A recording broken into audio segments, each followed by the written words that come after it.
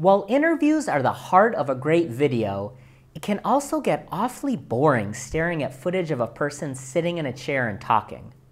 To liven things up a bit, we deploy the amazing weapon of B-roll footage.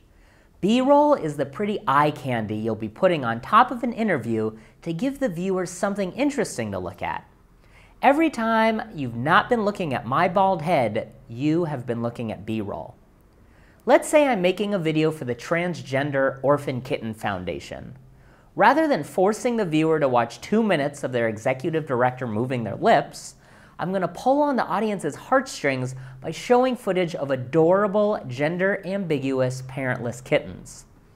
When gathering B-roll footage, quantity equals quality. You want to gather tons of short five-second clips. Why five seconds? Because later on when you go to edit your footage, you don't want to be stuck waiting through tons of really long video clips. Most individual B-roll clips are only in a video for 1 to 4 seconds. So to keep down your editing time, just film for 5 seconds at a time and then move on to your next piece of B-roll footage. And don't forget what we talked about in our filming tutorial. Film your B-roll clips from weird angles, crop in really close, and try to use the rule of thirds. Now with a nonprofit that works with kittens, finding cool things to film is easy. But not all subjects lend themselves to great B-roll. Say you're filming a video for a nonprofit whose mission is to provide free tax consulting services. Then what the hell do you film? IRS forms? The good news is that B-roll footage doesn't necessarily have to be super relevant to what your video is about. Have you ever seen a commercial for herpes medication? What B-roll do they usually use? Footage of herpes sores? Of course not. They usually show a happy person doing yoga. Tell your doctor if your immune system isn't normal because of bone marrow or kidney transplant or advanced HIV disease. Ask your doctor about once daily Valtrex.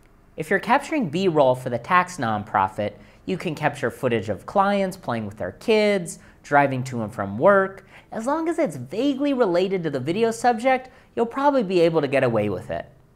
A couple years ago, we worked with a really cool nonprofit called Catapult Design, who designs products for people living in abject poverty. They do a lot of cool work in Africa, so we assumed they'd fly us there for the filming. Unfortunately, they didn't have the budget. We asked them if they had any of their own photos or videos we could use, and all they had were a handful of very short clips of a wheelbarrow they had designed. We gladly used those clips, but there still wasn't enough B-roll to last the entire video. So all we did was gather footage of them working in their office. While the B-roll wasn't as awesome as footage of orphan transgender kittens, it was way more interesting than just staring at a bunch of people sitting in a chair and talking. I'll play the video for you now. What I want you to pay special attention to is how mundane the visuals are that we use for the B-roll.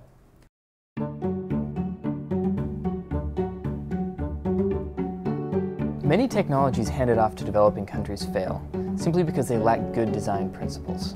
While technology has massive potential to bring about change in impoverished communities, it's rarely designed with the end user as the focus. Catapult Design exists to bring good design to those who need it the most.